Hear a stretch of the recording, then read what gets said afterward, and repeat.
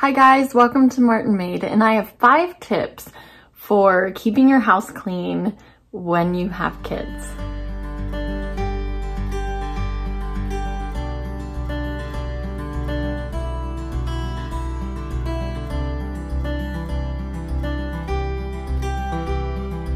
I know what some of you are probably thinking. Some of you are probably thinking, well, how can you know what it's like to have five kids or eight kids. It's so stressful. Or how can you know how to keep a house clean when you have 10 bodies going all over the place, you know, in your house? Well, there's five tips that I have that have helped me and I'm a perfectionist. I have two kids and both kids are small and they pull out toys and they make messes and they're just like any other kid. They're not perfect children, but the areas in which they, I want help, they can't really always help. And the areas that they want to help in, I want it done just right that I would much rather do it myself. But I have five things that no matter how many kids you have, these are ways in which you can have a clean home even though you have kids. And so let's get started on these five ways. Now the first one is the one that you hear in every cleaning video it's gonna be in every single cleaning video. I can almost guarantee you that. If it's not, then somebody doesn't do this and maybe it's okay with them. But the first one is to make your bed. I have always strived to make my bed all the time.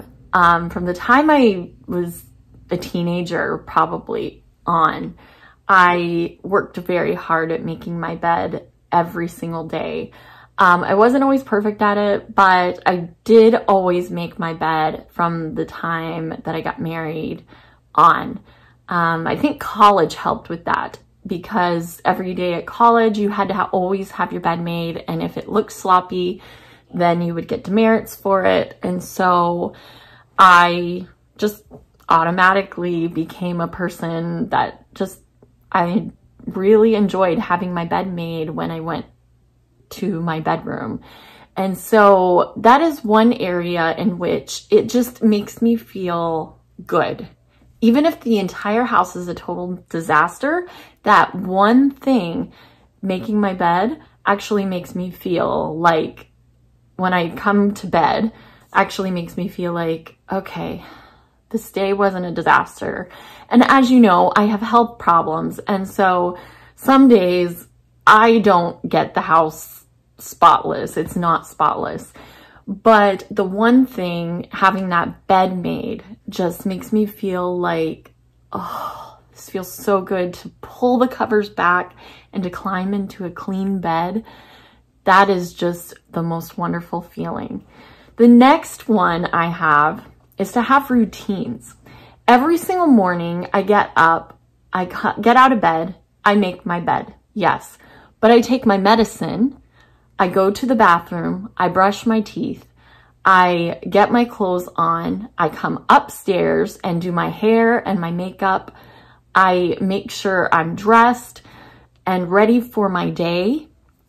And that is just my basic routine. I do that every single day because I have always done it every single day. It's become a habit. This routine has become a habit. Same thing with my children. I have a certain way that I do my mornings with them. In the morning, we get up, we get breakfast. Once breakfast is done, I make sure they go and they get their clothes on, except for my daughter, I get her dressed. Um, and then I go into the kitchen, I get the dishes all put in the dishwasher and I clean up all the counter space, all of the table.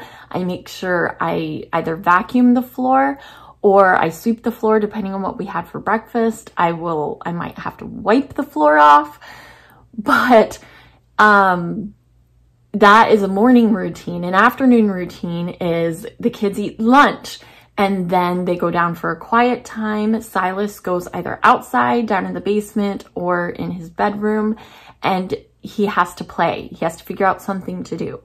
Um, he loves to go outside and he loves to play with our chickens, but um, that's neither here nor there.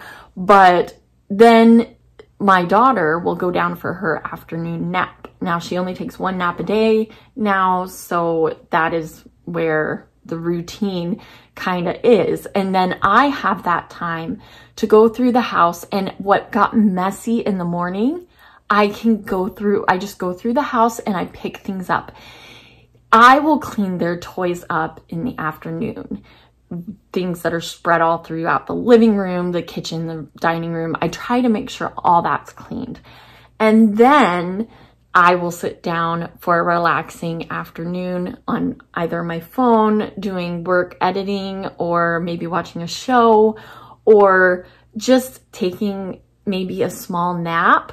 Silas is old enough to play in his room on his own and he knows to come and get me if he needs anything. And so I can always lay down on the couch and get a small nap in if I need it. And he knows that. And um, he knows all of the routine there. And so once quiet time is done, then I have my evening routine. We, we will have time in the afternoon, late afternoon and early evening to I'll I'll get supper started and we'll have some time together as a family in the evening. Sometimes we'll watch a show or sometimes we'll play a game. Sometimes we'll do puzzles. It just depends on the day and that kind of fluctuates or we if we have somewhere to go in the evening, we'll we'll do that in the evening. Um and then we have bedtime routine which I have done a video on this. Um, and it's just a bedtime routine where I well, my husband and I, we sit down and we read a Bible story to my son or do a little devotional with my son. And then we sing a hymn and a children's song as well as um, he loves Patch the Pirate. Um, I'll actually put a link down for that down below. They are great Bible stories for your children. I love them. And they have such good, solid truths in them for your children to learn about not being selfish, being kind, loving others, no matter what they look like. Um, they, they are so strong in those areas and they have great songs with them. And so I have a lot of their music. And so I, we sing a Patch the Pirate song every single night. And so then they go to bed. And so that is, those are kind of like our routines throughout the time. So um, the next one is to clean up things after you use them. So like when we have breakfast, lunch, or dinner, we will make sure we clean up the dishes really quick. Just throw them in the dishwasher. If it's right, if it's full, then run the dishwasher and take, pull out the thing and wash the others by hand really quick. If you have a dishwasher that has a fast speed, then just set those in the sink and then once the dishwasher's done, you can always put those dishwasher those in the dishwasher and then run the dishwasher a second time. So we'll do that or the living room. The living room gets so dirty sometimes that what I'll do is just every so often as I'm walking through, I'll grab a couple toys that are on the floor and just throw them in the toy bin because they're not getting played with if they're just laying there.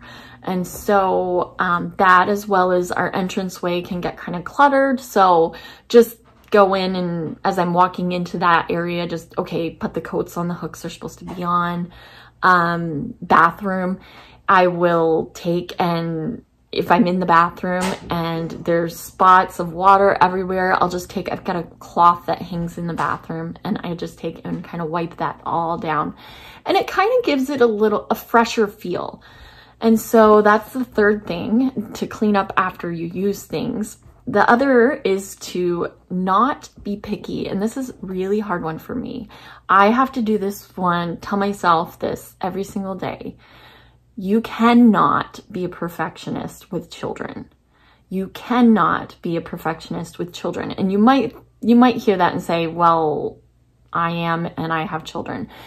But you ha- I remind myself that I don't have to have a perfect home, especially not with kids. People coming over and dropping in have to accept that this is my home. This is where I live. And it's very hard for me because I am a picky person.